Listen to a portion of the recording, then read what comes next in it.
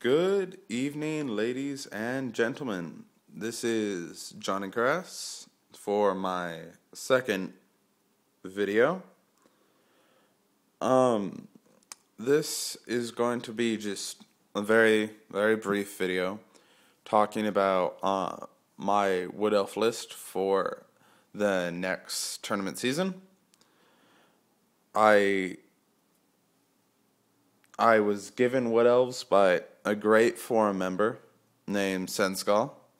He didn't want them anymore, knew I wanted to play them, and in an unheard of, absolutely unheard of act of charity, decided to donate them to the Johnny Crass Fund.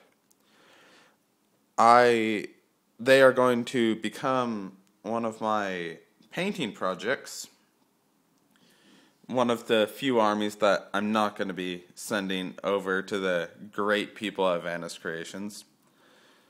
I just decided to get off my lazy butt and actually paint something. So here they are pre primer. This is 2500 point list.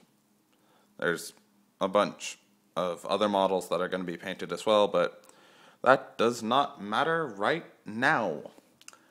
So, the list is 2,500 point list.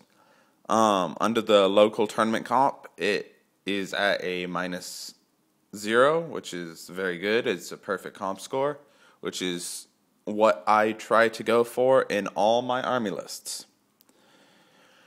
So it starts off with a highborn on dragon with Forest Dragon with Great Weapon, Stone of Crystal Mere, Resplendence of Luminescence, and a Charmed Shield. Dragon has a 3 up ward, he has a 3 up ward, reflects first cannonball, and overall he just gets stuck in and chops things up. Uh, we have your classic Wood Elf BSB, Cindy's Bane, Hail of Doom Arrow, good to go. Uh, level one, Athel Loren, Dispel Scroll. I couldn't fit in level four, but I needed some form of magic defense. Um, we have 14 Glade Guard, full command, Banner of Eternal Flame. Once again, standard, nothing new. Five units of Glade Guard with Musician. Once again, I would like to have more in this list, probably six or seven units. But the dragon eats up 500 odd points, and it just didn't turn out.